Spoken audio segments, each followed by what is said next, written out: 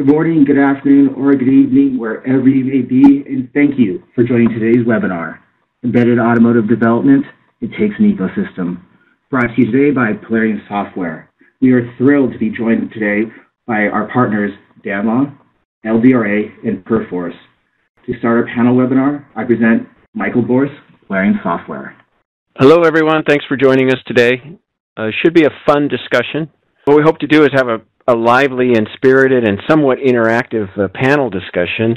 It's pretty hard to coordinate a webinar with uh, so many participants and invite audience participation as well, but I hope as we progress and people uh, become engaged that you feel free to ask questions. We've got a team standing by to monitor the question board and, and we'll try to funnel those questions to the panelists as we uh, as we go through. I got to say a couple things in in advance. Um, one of the things I've noticed in the last couple of years, well, maybe the last 18 months, is whenever I'm talking to a group of software people, software professionals, if you really want to get people talking in the software realm these days, bring up the topic of automobiles it's amazing how much engagement and how much participation software professionals have with respect to the topic of automobiles. And I think that's reflective of how complex the modern automobile has become. And also, it's also reflective of a change in the,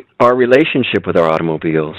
In the software realm, I mean, we've gone through several iterations of, of platforms, if you will. So uh, obviously, that we've transitioned from the PC being the primary focus of our attention to the mobile device being a, a huge focus of our attention.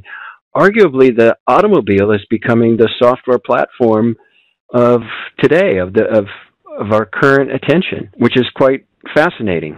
Automobiles have traditionally been a product that is the result of a a massively complex and very robust supply chain so as software has become, I mean, obviously, when you develop a software deliverable, you're probably relying on a number of elements that you didn't necessarily author yourself. So you're, you're relying on libraries, you're relying on open source, you're relying on whatever.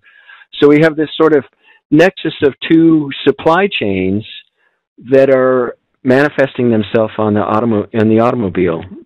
And so that's why we've come up with today's sort of topic, if you will. It takes an ecosystem to develop software for the automobile. So what I hope to do is to um, essentially have a, a, little quick discussion where each of our panelists get an opportunity to uh, present themselves and, and their particular uh, company and their expertise in this realm. Then we'll have some questions that we've uh, we've got for the panel, and then of course we'll we'll take your Q and A as we go. Thank you for watching our webinar teaser. To view the full webinar, click on the link below in the video description. For other recorded webinars, visit Polarion.com, click on the Events and Webinars tab, and click on Recorded Webinars.